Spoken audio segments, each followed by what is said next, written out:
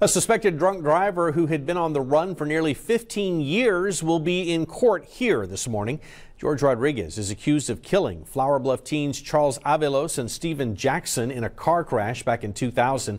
He is charged with intoxication manslaughter and will have a status hearing in the 214th District Court today. Back in 2002, he skipped a court appearance and was on the run, but last week he was captured in Mexico.